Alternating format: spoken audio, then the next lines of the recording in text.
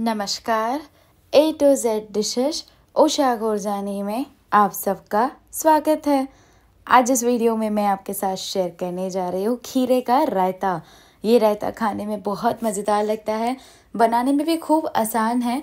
तो चलिए बिल्कुल भी देर नहीं करते, ये बढ़िया सा क्यूकम्बर का यानी कि खीरे का रायता बनाना शुरू करते हैं। तो इस रायते को बनाने के लिए सबसे पहले आपको चाहिए क्यूकम्बर यानी कि खीरा। ये मैंने एकदम फ्रेश ताज़ा लिया है। इसको मैंने पानी से अच्छे से वॉश कर लिया है।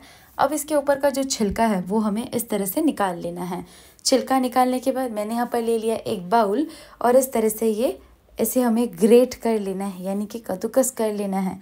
क्योंकि खीरे के टुकड़े तो अच्छे नहीं लगेंगे रायते में, इसलिए इसे कुछ इस तरह से आप अच्छे से कद्दूकस कर लेना, यानी कि ग्रेट कर लेना। ये जो रायता है बनाने में भी आसान है, खाने में तो ये खूब अच्छा लगता है, बहुत बहुत बहुत अच्छा लगता है।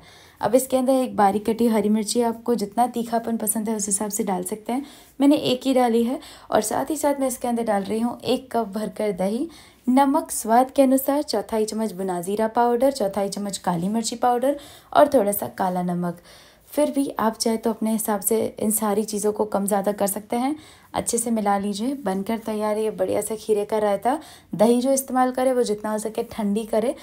ज़रूर इसे ट्राई करना, सच बता रही हूँ, अगर ऐसे ही खीरा खाना नहीं पसंद है ना, तब भी आप इसे बनाइए या फिर ऐसे ही बच्चों से लेकर बड़ों तक को पसंद आएगा, हेल्दी है, टेस्टी है, ट्राई करना और चैनल को सब्सक्राइब करना ना भूलें। Thank you for watching.